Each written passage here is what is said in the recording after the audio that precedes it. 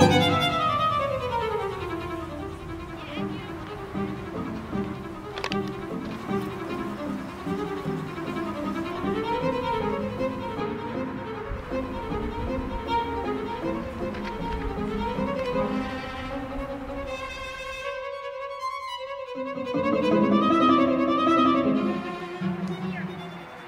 fly has eyes on the side of its head, and like wasps and bees have it on the front of their head.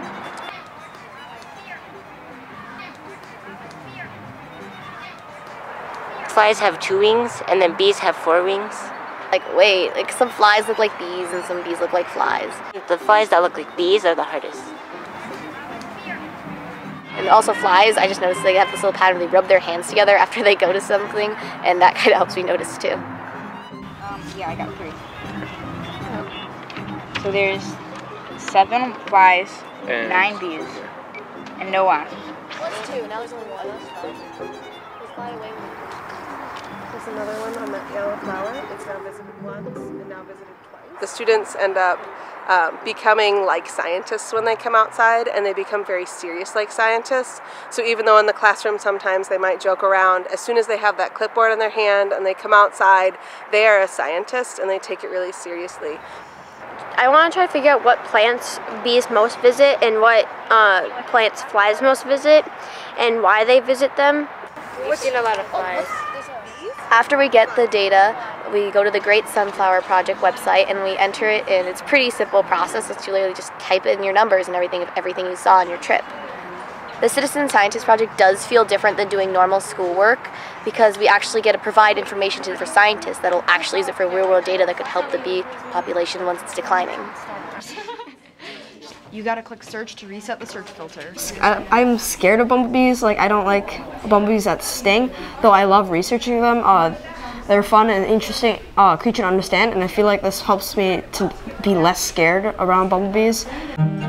We're 17.3 percent. As a scientist, when I first started learning about the natural world, it was clear to me that insects were really important. There's so many of them and they're doing so many things. An apple or having strawberries, having tomatoes for your pizza. Those are things that pollinators are directly impacting. And so it's a way that you can get people hooked into the world of insects and how important they are for, for your life and for the functioning of our planet. Citizen scientist volunteers really help me as a biologist to be able to cover a lot more ground than I usually do.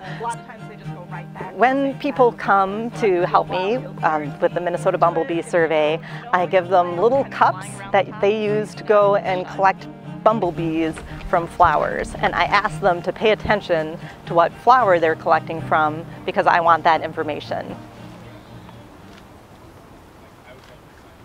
I look at the bees and identify them to species. There are a couple of species that are difficult to tell apart, and so those bees I, I need to take a closer look at. Yes, yes. They both have spines, but on Pensylvanicus it's really long and pointy. Oh yeah, I can see that on that leg right clear as a bell. But once they've been identified, the bees are all given a dot of paint onto their thorax, and that way I know that I've counted them. We can let the bee go, and any bee that we see with an orange dot, we know we already counted it, and we can leave them alone. Take it inside this. I go, okay, is that a, you know? Pet them and feel them buzzing. if anybody wants to I, try holding th- them, that's you my favorite part about the so doing the surveys is um, So which kind is that? just This is